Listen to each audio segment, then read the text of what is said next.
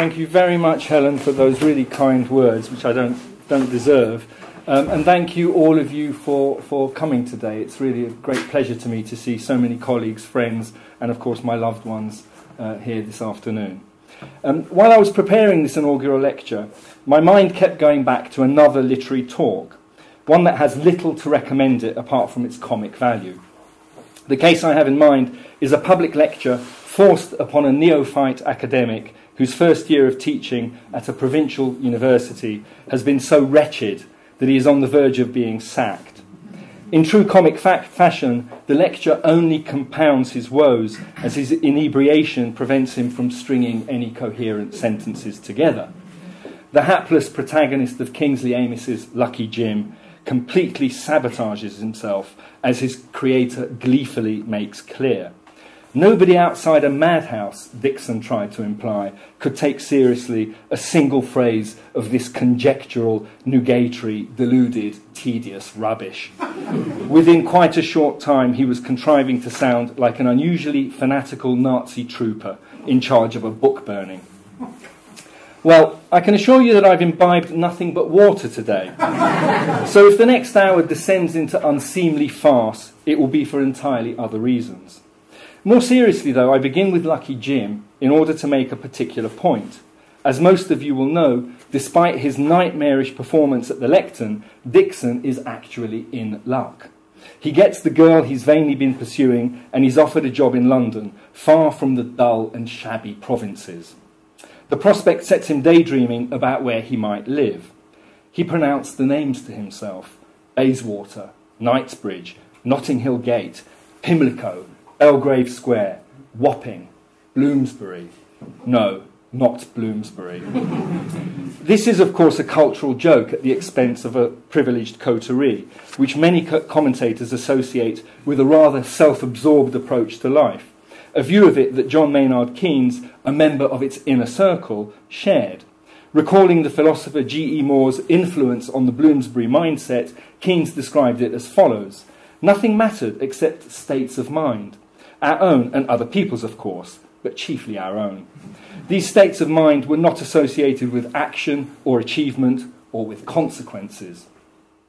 By way of Jim Dixon, Amis hints at a conception of modernism that equates it with formalist aestheticism. Modernism, from this perspective, is self indulgent, unaware of or unconcerned with pressing social issues, and inward looking, this negative view recapitulates an argument that goes back to Baudelaire and Flaubert. It finds warrant in these writers' unbending commitment to artistic perfection, Flaubert's oft cited search for the mot juste, the exact word, and for their obsession with literary style. Flaubert, for example, insisted that the finest works are those that contain the least matter, and he longed to produce a book that would be held together by the internal strength of its style but would have almost no subject. Influenced by this aestheticist tradition, a host of English writers maintained that social or political matters had nothing to do with literary art. Punch summed up this way of thinking in a 1928 cartoon. A foppish young scribbler is asked by his aunt what he intends to write about.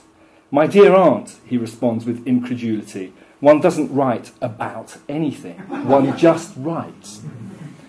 This stress on artistry above subject matter goes to the heart of objections against the literary tradition that is closely associated with modernism but goes well beyond it.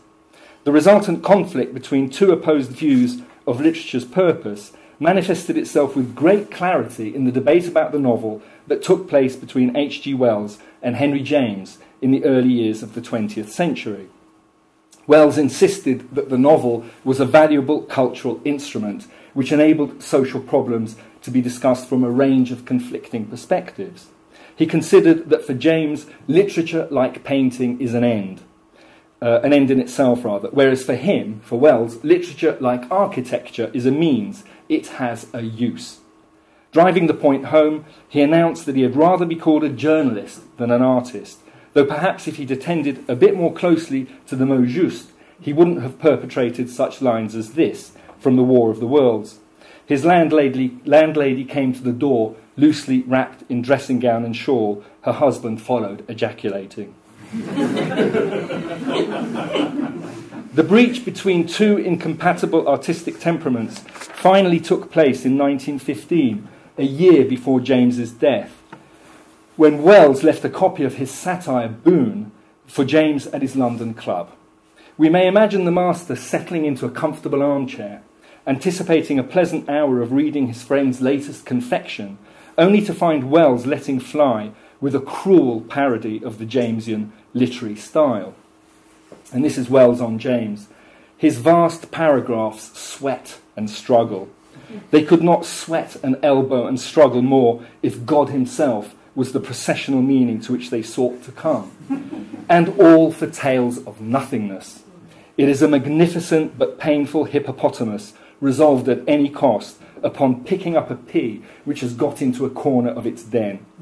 Most things, it insists, are beyond it, but it can, at any rate, modestly and with an artistic singleness of mind, pick up that pea. There can be no doubt that James was deeply wounded by this screed, but he responded with a dignified restatement of his long held aesthetic credo. It is art that makes life makes interest, makes importance for our consideration and application of these things, and I know of no substitute whatever for the force and beauty of its process. James's emphasis on the value of art qua art is central to modernism, but I want to suggest that the nature of this valuation is often misunderstood. Many early critics of modernism went so far as to equate it with aesthetic purism, thereby concluding that it was indifferent to social problems. Edmund Wilson's influential book Axel's Castle, which was first published in 1931, presented T.S. Eliot, James Joyce, Gertrude Stein, and W.B. Yeats as inheritors of a symbolist movement that was compromised by a renunciative aesthetic. Worrying about the future of modern writing as exemplified by these authors, Wilson suggested that post war disillusionment had created an atmosphere in which the Western mind became peculiarly hospitable to a literature indifferent to action and unconcerned with the group. A diagnosis that George Orwell echoed eight years later when he concluded that for most contemporary authors there was nothing left but quietism, robbing reality of its terrors simply by submitting to it.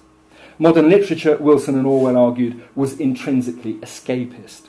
It either retreated into private reverie or concocted nostalgic fantasies of a mythical bygone age. Many commentators at the time found Wilson's account persuasive. It's frequently repeated in early codifications of modernism, where we find modernism defined uh, as an apolitical literary mode, so much so indeed that it is said to betray itself the minute it addresses contemporary social problems. This account of modernism has been influential, and it crops up again and again in more recent discussions. I propose in this inaugural lecture to contest this view, especially its con- concept of a singular literary ethos, a way of thinking that I think can be traced back to Georg Lukács's 1957 essay, The Ideology of Modernism. But before I turn to my reservations about this way of thinking, I want to delve a bit further into the case against modernism a case that has ramified over the years. The initial claim that it is aestheticist and formalist has been expanded to four further charges. Firstly, that it is resolutely elitist and deliberately seeks to debar readers from its riches. Secondly, that it is unrestrainedly subjectivist in orientation, dissolving social reality into the privatized imagination. Thirdly, that it is neither radical nor oppositional, but is in fact the purest expression in the cultural realm of capitalism itself. And fourthly, that it is fraudulent, at best an amusing leg pull, and at worst a preposterous and self defeating farce. The problem of modernism's alleged elitism preoccupied critics from the outset. Wilson, so often uh, an originator of debates about its significance, observed in Axel's Castle that modernist literature is extremely difficult, subtle, and refined, and thus forbidden to most readers. F.R. Leavis, in turn, worried about the deleterious consequences of a social division that pitted a minority culture against a mass civilization, even though he was a staunch defender of elites, which he argued keep alive the subtlest and most perishable parts of tradition In their keeping, he maintained, is the language, the changing idiom upon which fine living depends, and without which distinction of spirit is thwarted and incoherent. By culture, Leavis explains, I mean the use of such a language. Literary works like The Wasteland, Hugh Selwyn Mauberley, Ulysses, or To the Lighthouse, Leavis maintained, are read only by a very small specialised public and are beyond the reach of the vast majority of those who consider themselves educated.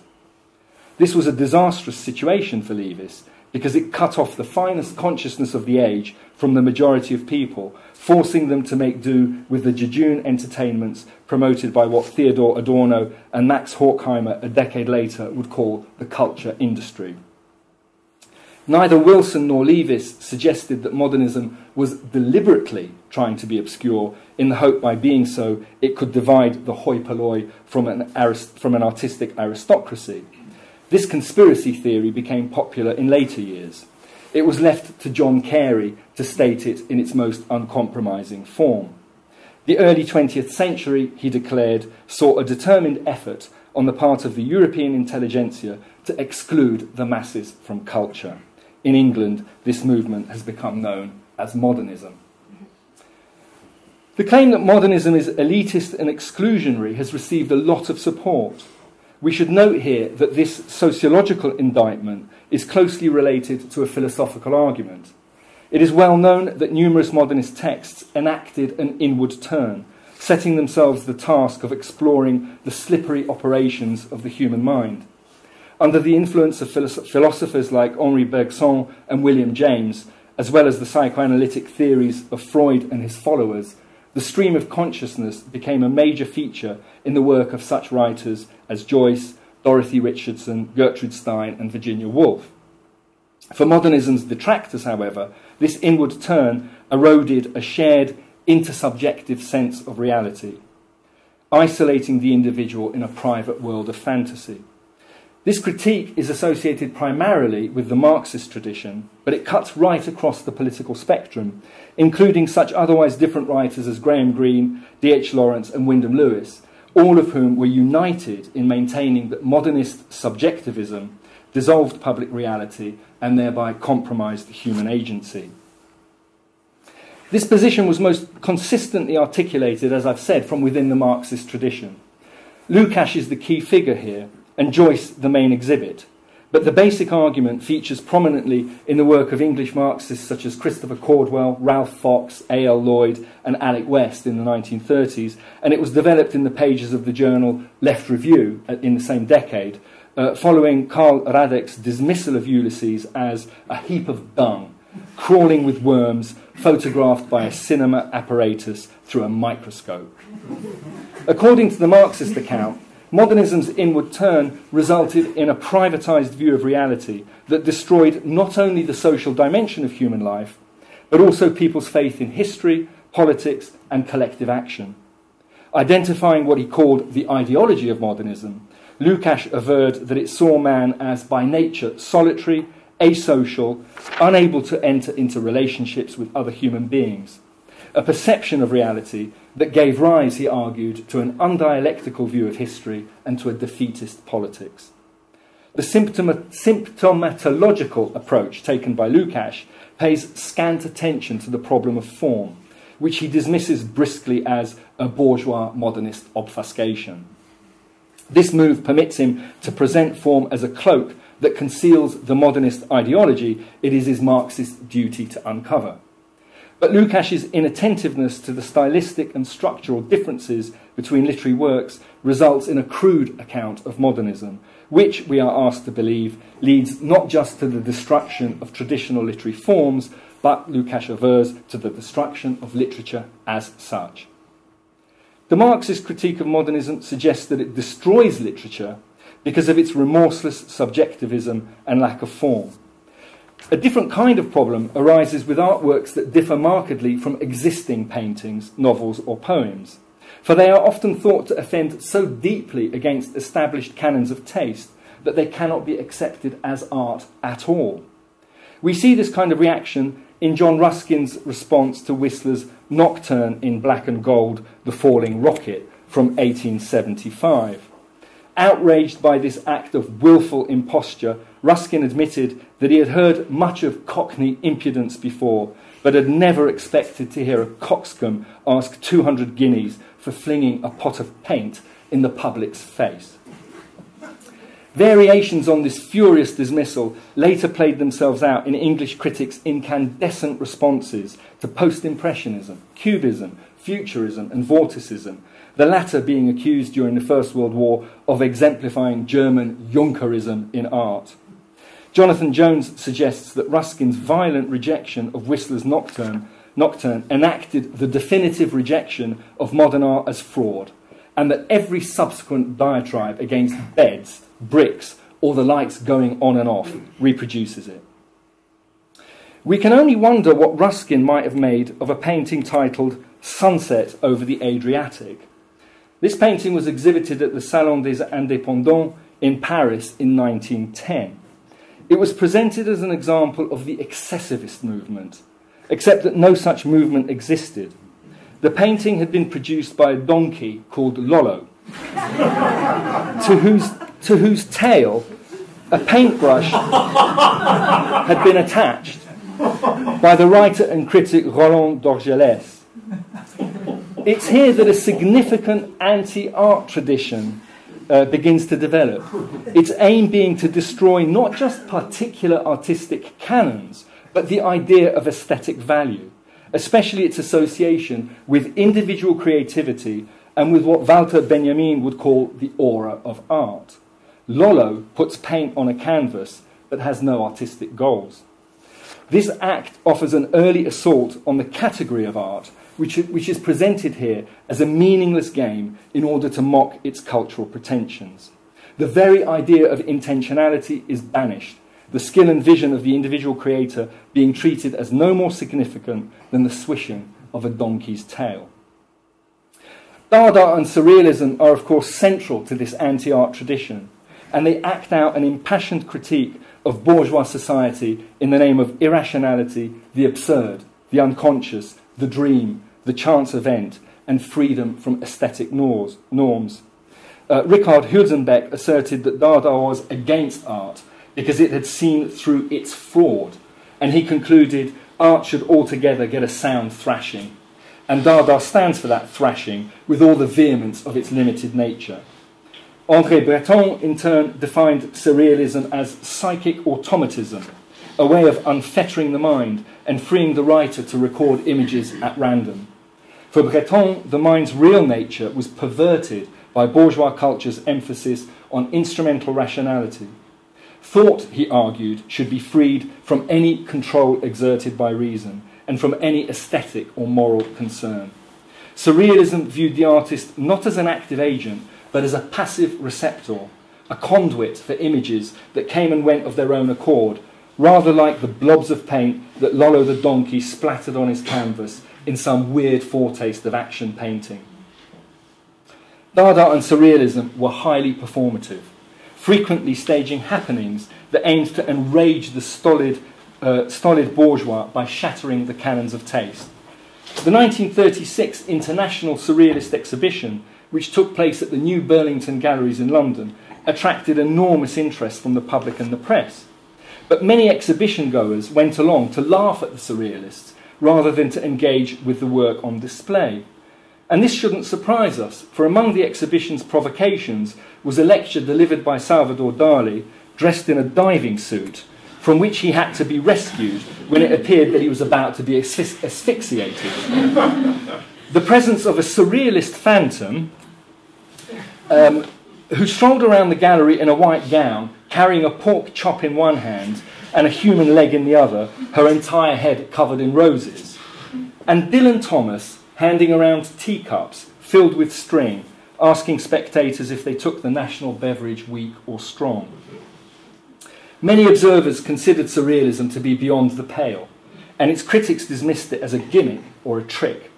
This critique, however, misunderstood the change in orientation the surrealists wanted to bring about, since they sought to elevate the unconscious to a supreme position and to celebrate the confections of chance.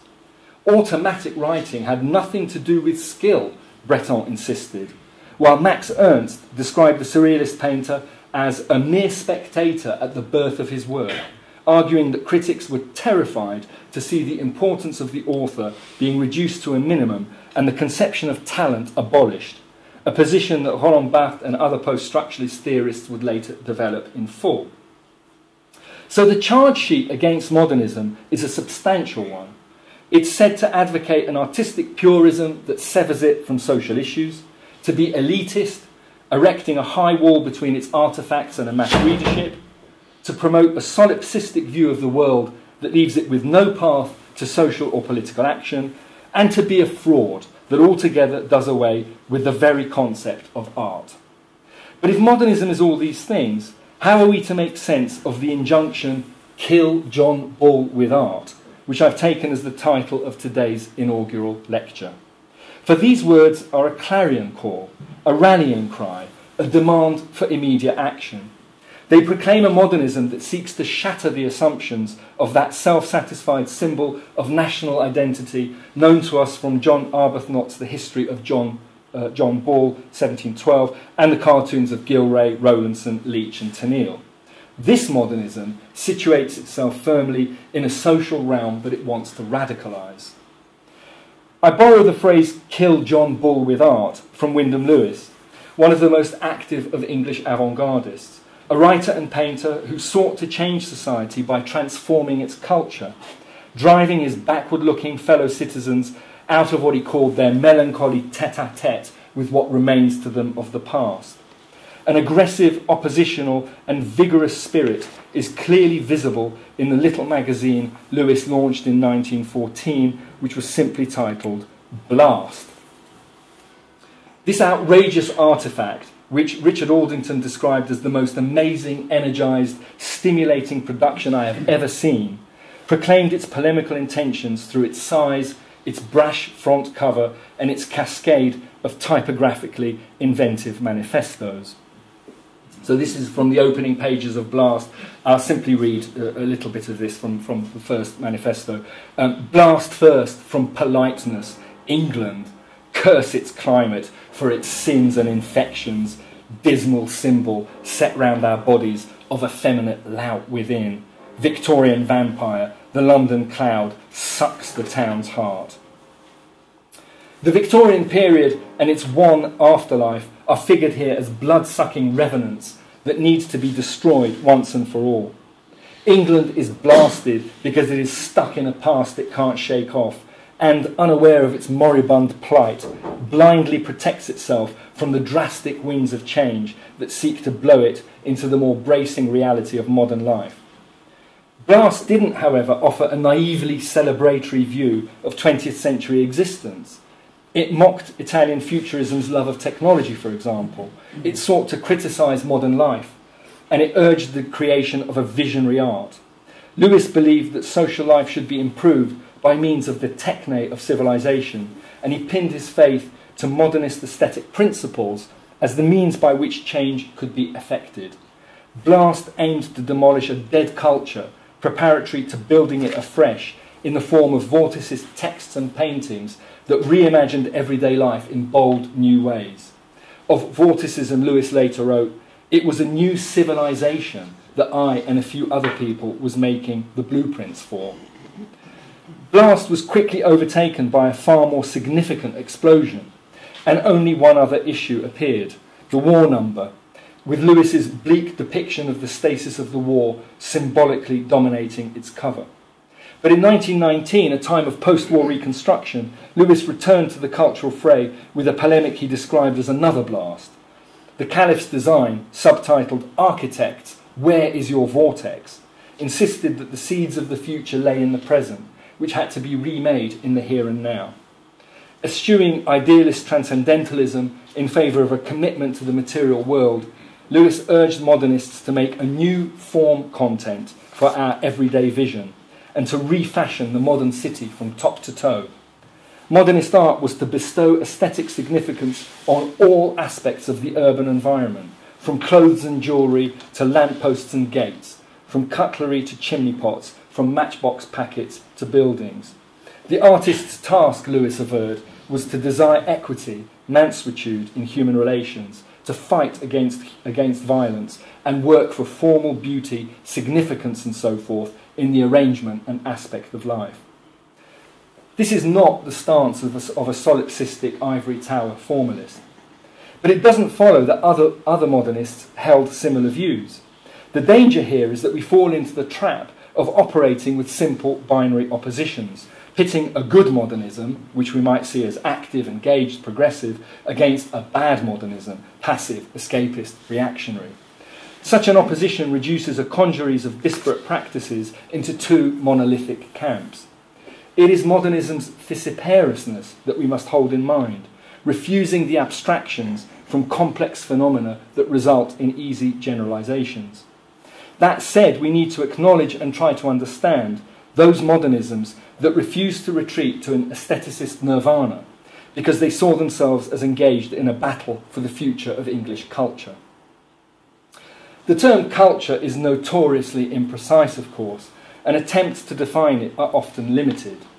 T.S. Eliot, sensibly noting that it includes all the characteristic activities and interests of a people, then offers us this unintentionally amusing list.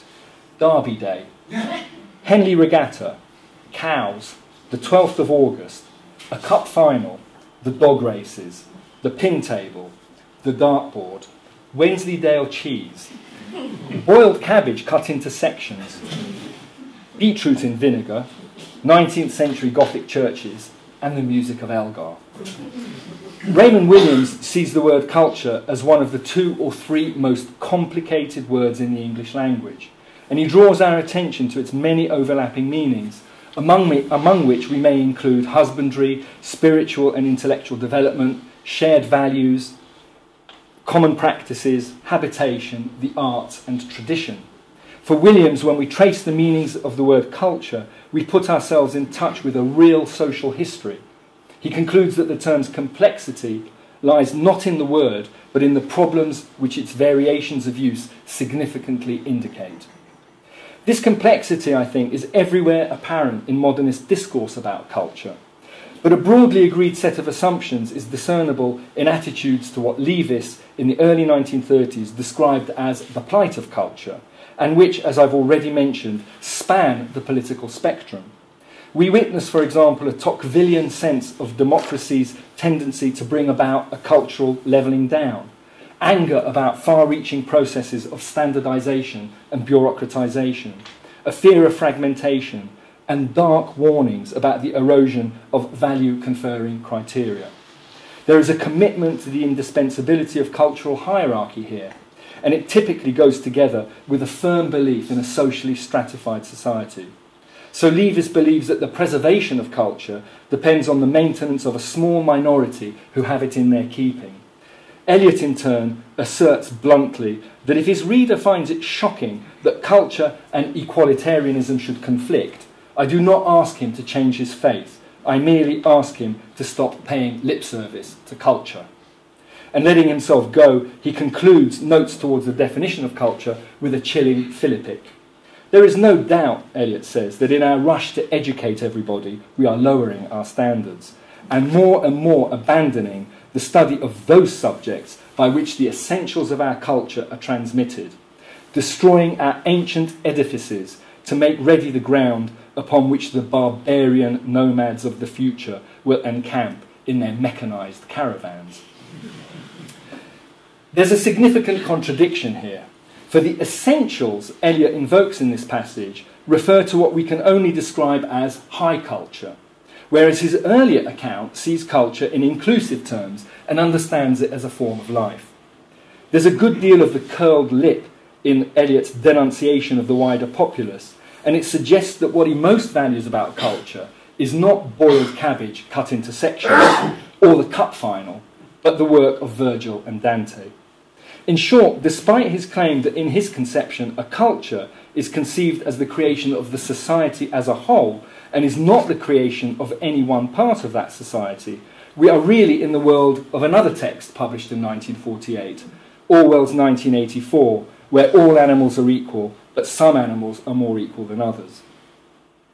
This hierarchical view of culture is even clearer in Leavis's extensive writings, which not only den denigrate everything associated with popular pursuits, but also see them as active threats to the literary values Leavis wants to preserve and promote.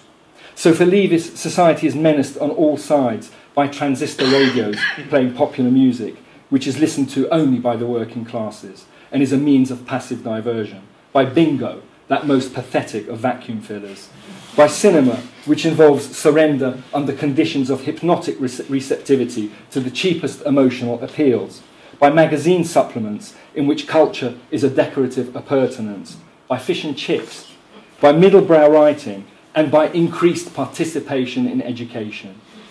But then Leavis didn't like much of anything at all, apart from his beloved D.H. Lawrence, whose notorious novel Lady Chatterley's Lover was summed up more criti critically by Louis Ferdinand Céline. 600 pages for a gamekeeper's dick. It's, it's way too long. Discussing a lecture Leavis gave at Nottingham University, J.B. Priestley reported that in it, Leavis declared that apart from D.H. Lawrence, there's been no literature in his time. He knocked hell out of everybody. Virginia Woolf was a slender talent. Lytton Strachey, irresponsible and unscrupulous. W.H. Auden, the type career fixed at the undergraduate stage. Spender, no talent whatsoever. Day Lewis, a book society author. The whole age dismal. The outlook very poor. The upshot of this Jeremiad, Priestley sardonically observed, was that by the time Dr. Leavis caught his train back to Cambridge, there was hardly anything left to read in Nottingham. I've suggested that it's a mistake to see modernism in a unitary way. A particularly noteworthy tension manifests itself as the conflict in modernism between hostility to the majority and a desire to enlarge people's minds. In Arnold's memorable words, to make the best that has been thought and known in the world current. This educative zeal leads Eliot to participate in adult education, Lewis and Ezra Pound to establish the Rebel Arts Centre, Lawrence and Bertrand Russell to plan lectures on religion and ethics, and Pound to offer a new paideuma for the age, which he described as the complex of ideas which is in a given time germinal, conditioning actively all the thought and action of its own time. It's also visible in the copious amounts of criticism the modernists produced to explain their work to as wide a readership as possible. Indeed, this educative tendency was so prevalent that it allowed Gertrude Stein to mock Pound, that most ardent of modernist edifiers, as a village explainer, excellent if you were a village, but if you were not, not. a similar pedagogic drive informs the culture of little magazines through which modernist writing first surfaced, and which Peter Brooker and Andrew Thacker, both of whom are here, um, have helped us to understand in all its complexity. Although they differed from each other in details, most of these magazines disclosed uh, an educative impulse which manifested itself either as a meliorative agenda or as a revolutionary one. Little magazines sought to intervene in cultural life in order to suggest how it might be reimagined to create readers for their new modernist literature and to, de- and to develop counter public spheres. When Ford established two such journals, the English Review in 1908 and the Transatlantic Review in 1924, he did so with the express intention of reviving modern literature, defending the value of the arts to society, creating a literary nucleus, and forging a literary league of nations. Eliot again started the criterion with, Eliot says, the aim of bringing together the best in new thinking and new writing in its time from all the countries of Europe that had anything to contribute to the common good. And Lewis's blast announced that it had no interest in being a coterie product. It would rather be an avenue for all those vivid and violent ideas that could reach the public in no other way. And it would be popular, Lewis writes, speaking not to any particular class, but to the fundamental and popular instincts in every class and description of people. This is a radically democratic vision. As in Dada and Surrealism, everyone has the potential to be an artist here. And the Vortis, Vorticist magazine that makes this claim has, we are explicitly told, been created for readers of all classes. Ford rightly saw that a battle for English culture was underway here, and that avant-gardist pugnacity served a serious social purpose. Writing of the futurists and vorticists around the time of the First World War, he suggested that they not only drove the old academies out of the field, the market, and the forum, but also created a public that had never looked at a book otherwise than to be bored with it, or considered the idea that an art was in, an interesting, inspiring, or amusing appearance. This mattered, Ford went on, because the arts and the public exist in a reciprocal relationship, each requiring the other if culture is to play a meaningful role in social life. So, if we now return to one of the charges against modernism with which I began, its alleged elitism and its desire to exclude readers from its purview, we can see that the picture is in fact an infinitely more complicated one. The modernists were acutely aware that they were creating an often rebarbative literature, but far from celebrating its obscurity, they mitigated the ensuing tension between artist and public as best they could, while refusing to compromise what most mattered to them about the new work they were producing. If, as Eliot suggested, modern writing was difficult, this was certainly not because its progenitors were devoted to a self defeating opacity.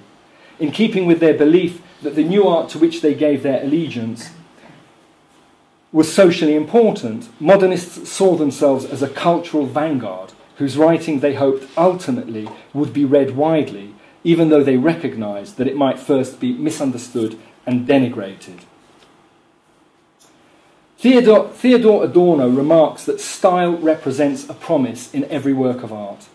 This may not, in modernism, always be Stendhal's promesse de bonheur, but modernism's multiple styles enact its openness to the many hued world it sought to evoke. That this perplexing world was experienced as difficult to comprehend is central to modernism's modus operandi, which is why it so often explores the relationship between representation and form. Lost on Margate Sands, a version of the author in Eliot's The Wasteland can connect nothing with nothing, and the poem ends by suggesting these fragments I've shored against my ruins. Again, when Ezra Pound was grappling with his early cantos, he too worried about the adequacy of his chosen form to the modern life he was trying to render in words. Addressing Robert Browning, one of his strong precursors, Pound asks, You had one whole man, and I have many fragments, less worth, less worth. Ah, had you quite my age, quite such a beastly and cantankerous age. This sense of social and cultural fragmentation leads the poet to wonder if his mode should be a capacious one that renounces the dream of organic form and aesthetic unity from the outset. And so Pound goes on Say I take your whole bag of tricks, let in your quirks and tweaks, and say the thing's an art form, and that the modern world needs such a rag bag to stuff all its thought in. This tortured self questioning addresses the problem of expression and of the vexed relationship between form and function. A no less disturbing issue for modernists was the question of art's social impact, the role it actually played in everyday life. It was all well and good to fantasize about transforming culture, but what if nobody was paying any attention? Worse still, what if the public was merely amused by modernist provocations dismissing them as playful but meaningless jeux d'esprit. In what has become a familiar critique, modernism is now seen by many critics as a mode that was co opted and defanged from the outset by a capitalist culture for which the cult of the ever new simply functioned as a further spur to the market. From this perspective, the more quote unquote radical modernists thought they were, the more deluded they became, since in truth their work was simply an epiphenomenon of capitalism itself. Modernism, John Xiros Cooper emphatically asserts, is and always has been the culture of capitalism. Or, as Wyndham Lewis put it when he looked back on his youthful avant gardism, kill John Bull with art, I shouted, and John and Mrs. Bull leapt for joy in a cynical convulsion, for they felt as safe as houses. So did I. But I want to suggest that this negative reappraisal of modernism's social and political impact is informed by the very avant garde assumptions it professes to dismantle and to disavow. For what lies behind it is the dream that modernism could have been an emancipatory artistic practice capable of delivering a decisive, once and for all cultural and social revolution. When this revolution doesn't materialise, modernism is said to have failed in its entirety. But this argument, I believe, is compromised by two mistaken assumptions. Firstly, it relies on a monolithic view of history, which sees anything less than the, than the transformation of society as a total defeat. Secondly, it operates with an insufficiently supple view of the mediated relationship between social processes and aesthetic forms, which, in the absence of the desired social and political transformation, are said to be utterly negated by an all embracing capitalist order. The analysis, in short, is driven by a profound sense of disenchantment that misconstrues how modernism actually intervened in the culture that it sought to change, ignoring both the effect that it had on many individuals and also its continuing influence on present day creativity, because it is unwilling to accept that these effects and influences were and are piecemeal, partial, unpredictable, and ongoing. Modernism may not have changed the political structure of society, but it altered the entire landscape of music, dance, literature, and the visual arts, producing so many offshoots that it has pr- proved hard to keep up with them. One of my favourites is a recent homage to Lewis's Blast, which is at once a nod of respect and a self mocking parody. Titled Bast or Bast, um, and coming out of a small town in Wales, it signals its status as a belated imitator. You will recall the layout of Lewis's 1914 production. Um, Bast's opening page mimics Blast's first manifesto, but updates and repurposes it adapting the latter, latter sentiment to a different national context. Blast first from politeness, Wales.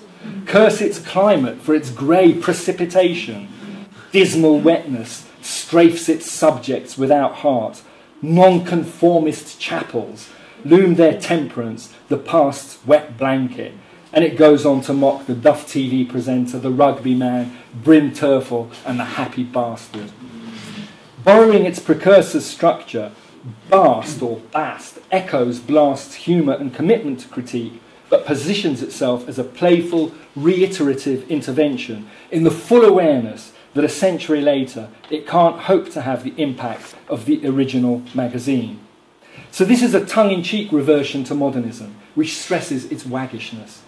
But witty though it is, it can't help us with the deeper issues I've been trying to highlight we are still left to ponder the question of modernism's inaccessibility, which is linked to the charge that the whole movement is fraudulent. Its verbal difficulty, indeed, frequently is read as the sign of its literary rascality. Thus, we find Stanislaus Joyce announcing that he wouldn't have read more than a paragraph of Finnegans Wake if Jim hadn't been his brother. Outraged, he concluded that the drivelling rigmarole the latter had thrust upon him must have been written with the deliberate intention of pulling the reader's leg. That's a letter from Stanislaus to James. Several decades later, Philip Larkin made the same point in a more earthy manner. What a poet has to do, he wrote, is to create a new language for himself. And more, it has to be a good one. Pound, for instance, I shit. Likewise, Joyce.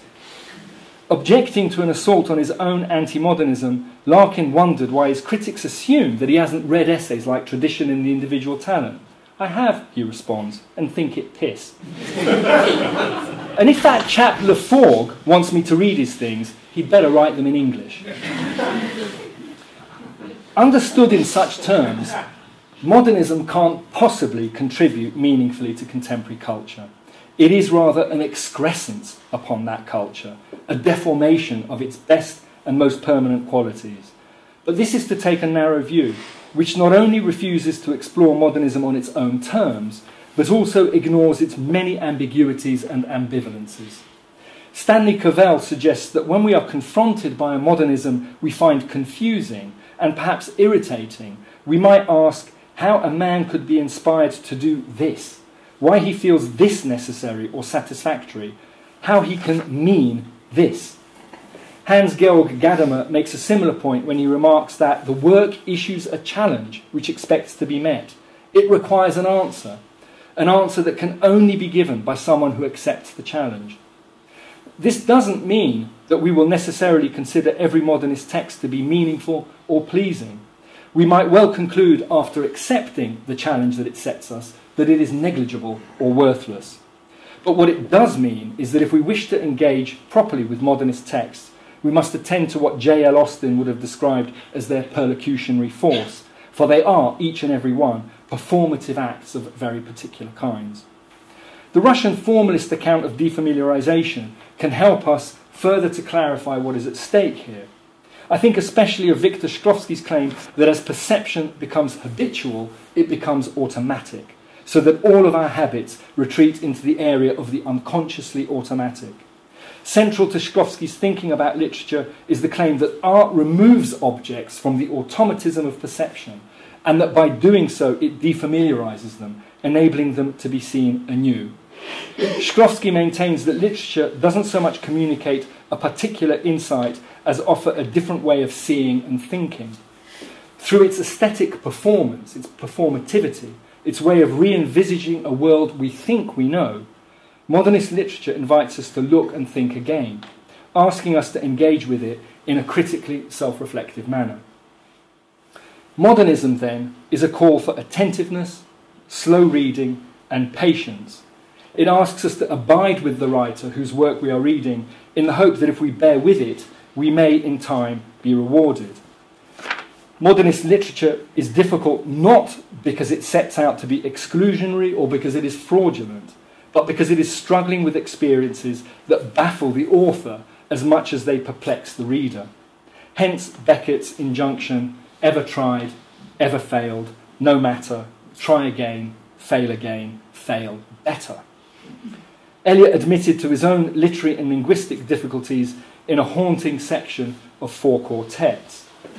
So here I am, trying to learn to use words, and every attempt is a wholly new start and a different kind of failure, because one has only learned to get the better of words for the thing one no longer has to say or the way in which one is no longer disposed to say it. And so each venture is a new beginning, a raid on the inarticulate with shabby equipment always deteriorating. We should not mistake this recognition of difficulty for a donnish sesquipedalianism of the kind that Robert Graves described in Goodbye to All That when he recalled a meeting between Lawrence of Arabia, recently returned from London, and a Fellow of All Souls. Bumping into Lawrence at the college gate, the latter inquired if it had been very caliginous in the metropolis. Without missing a beat, Lawrence replied, somewhat caliginous, but not altogether inspissated. the difficulties modernism presents us with are of a different order, for it puts before us the question of what literature might be or become. An unceasingly venturesome structure of feeling, modernism asks us what it means to be, what it means to be hu- human in a technocratic, globalized, and desperately politicized age even as it explores contemporary literature's conditions of possibility. If we're willing to accept the challenge it offers, it asks of us only that we keep our minds open, inviting us, like Keats's Watcher of the Skies discovering an unsuspected new planet, to approach its bewildering riches in a spirit of wild surmise. Thank you.